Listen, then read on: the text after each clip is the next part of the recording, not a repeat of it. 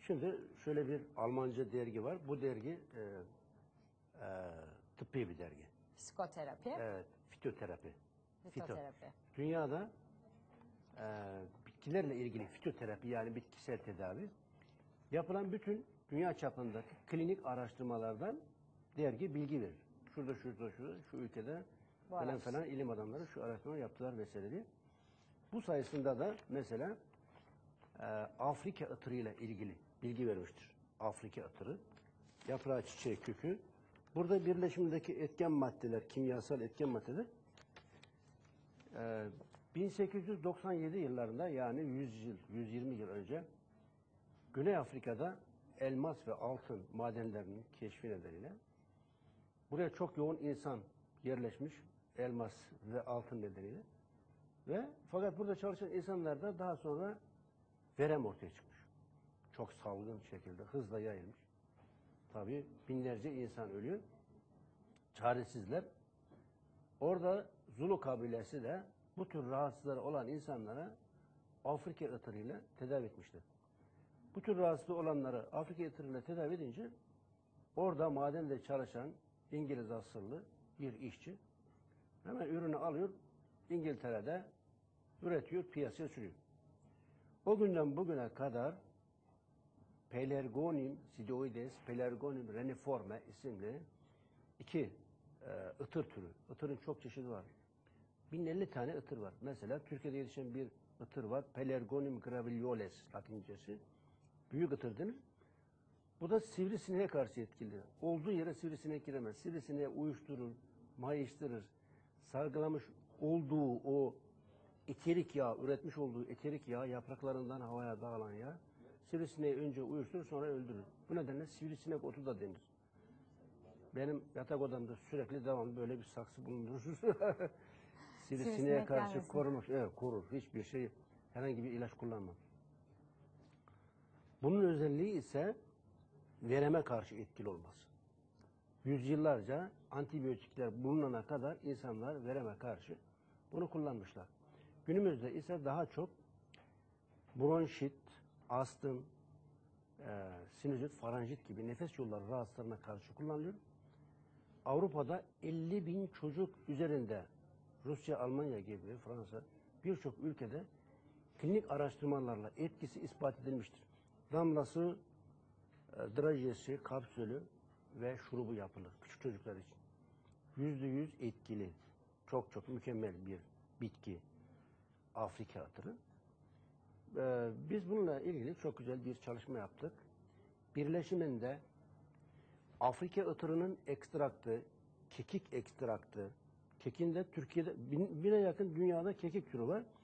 Türkiye'de de 52 çeşit kekik yetişir. Sadece Thymus vulgaris, bahçe kekiği etkili. Diğerleri de belki etkilidir. Onların etkisi bahçe kekiğine göre yüzde üç, yüzde beş veya yüzde ondur. En etkili olanı Türkiye'de bahçe kekiği. Bunun birleşiminde eee ıtır ekstraktı, ekinezya ekstraktı, sinirlot ekstraktı, kekik ekstraktı, adaçayı ekstraktı gibi 19 çeşit bitki ekstraktı. Şimdi mesela bir insanın akciğeri 400 metre kare. Takriben e, 300 milyon hava kesici var. Hava kesicikleri oksijen alır, alveolum denen hava kesicikleri karbondioksit verir. Oksijen alır, karbondioksit verir. Şimdi bu hava kesicikleri bağırsaklarda kişinin mantar varsa mantarların üretmiş olduğu toksik maddeler hamurlu tatlı, karbonhidratlı içeren bir şey yediğinde mantarlar gaza dönüştürür. Etan, metan, büten gibi gazlara. Bu da karında şişkinlik yapar. Karındaki şişkinlik karaciğeri, mideyi, pankreası, dalağı yukarı doğru sıkıştırır. Bu organlarda diyafram, diyafram akciğer. Akciğer biraz sıkışırsa, daralırsa, ne olur? Büzülürse alveolon denen hava kesicikleri de sıkışır, büzüşür. Daraldığı zaman oksijen alıp karbondioksit veremez hale gelir. Problem çıkar.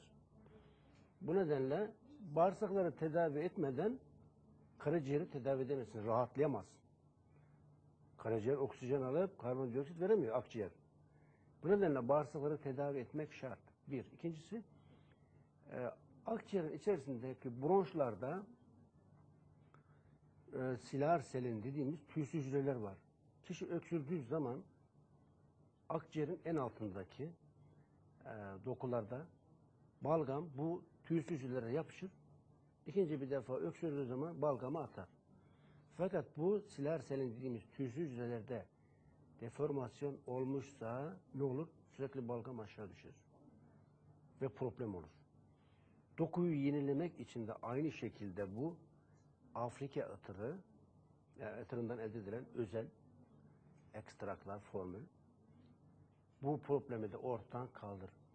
Ee, Pakistan'da bir tanıdığım Kaan isimli adamcağız vereme yakalanmış. Birkaç defa hastanede tedavi görmüş. Fakat bağışıklık sistemi zayıfladığı zaman tekrar vereme yakalanıyor. Her tarafından, orasından, burasından ayrıca yaralar çıkıyor. Eksema gibi vücudundan da. Ya dedi bıktım hastaneye yatmaktan, ilaç kullanmaktan. Yok mu bunun bir çaresi? dedi. Problem değil, hallederiz dedik. İyi hadi bakalım. 6-7 hafta kullandıktan sonra hiçbir şey kalmadı. Yani her türlü rahatsızlık bitkilerle tedavi edilebilir fakat doğru bitkiyi doğru yerde kullanmak gerekir. Afrika ıtırı her türlü bronşit, astım, kuru öksürük, faranjite karşı etkili. Bununla ilgili klinik araştırmalar yapılmış. 50 bin kişi üzerinde denenmiş. Yeni bir şey değil. 120 yıldır e, Avrupa'da, daha önce Afrika'da binlerce yıldır bilinen, kullanılan bir bitkidir. Evet, yani. Evet. Bundan sonra peki e, karaciğer yağlanmasına da sebep oluyor tabii astım, bronşitin ilerlemiş hali. Şimdi Karaciğer karaciğer yağlanması da yapıyor bir şekilde etkiliyor.